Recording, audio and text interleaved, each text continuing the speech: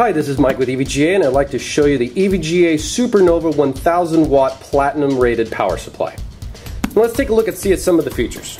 We got EVGA on one side here. On the back here we have our specifications showing some key features including our ultra quiet 140 millimeter fan. This power supply comes with 100% Japanese capacitors and is fully modular.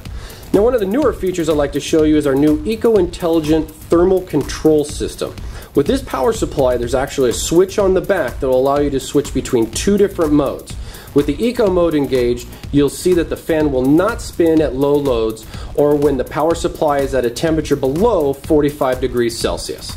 Some other key features you'll show on here is that we have a stable power with very low electric ripple and noise. We also provide an 83 amp single rail design on our 12 volt and this comes with our standard protections that we'll see, as well as a lot of other great features including SLI certification for running multiple graphic cards, and our outstanding 10-year warranty on our power supply. Yes, 10-year warranty EVGA power supplies. Now let's open the box and take a look more inside. Okay, now opening the box here, we'll just take a look to see what it's got to offer. Inside here, first and foremost, you can see we have our EVGA tote bag for our extra cables we won't be needing. Here's our 24 pin cable that we use. AC power. Here's our EPS 12 volt cables for our CPU. Serial ATA Molexes. Um, our red cable for PCIe power connections for our graphic cards. Some additional cables in there.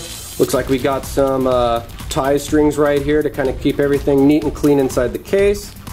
A couple of screws here to uh, use our power supply attached to our case. And we'll pull out our 1000 watt platinum power supply here as well. Opening up here, see we got our handy manual. It's our new 1000 watt platinum power supply showing off some of the key features, how to connect it up, and then also giving you a little bit of description as far as what you got to offer here for voltages and wattages, as well as the different connections that are available. Now let's take a look at the 1000 watt itself. Comes in this great little bag here to keep it safe and definitely scratch free while it's in transit. And here it is, 1000 watt platinum. Notice that it has a nice EVGA front face that's embossed into the case as well as the EVGA logo sticker on top of the fan. Shown right here on the one side. This is going to be our fully modular side showing off our 24 pin, our serial ATA peripherals, and then our PCIe power connections. On the other side here, one of the features I want to show you is our Eco Mode. Now with the Eco Mode option here, you'll see that there is a switch on the back for off and on. So with this power supply, when this switch is on, the fan will actually not spin under low loads. Now you might say that might be a concern. Hey, why is my fan not spinning? Is it broken? Actually, this is a cost saving feature where when you don't need it, you can save power and you can save on energy costs, all while having the top efficiency of what a platinum rated power supply has to offer. Looking here on the one side, you can see that we have the EVGA Supernova 1000 Platinum, as well as some of the specifications,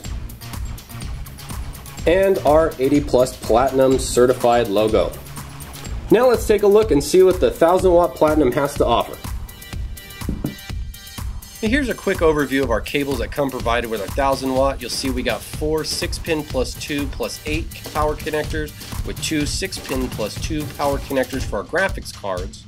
Over here we got a couple Molex cables for our peripherals, our AC power, two EPS 4 plus 4 pin connections for our CPU, our 24 pin connector, and a couple serial ATA power connections, the total of 10 power connection cables here for our peripheral devices with all this and the modular look, you can plug in what's needed with leaving the remaining cables in your tote bag for a clean look and better efficiency. Notice here on the back, as I showed you earlier, the Eco on and off switch. We'll leave the switch on right now so we can demonstrate. Turn the power onto our power supply.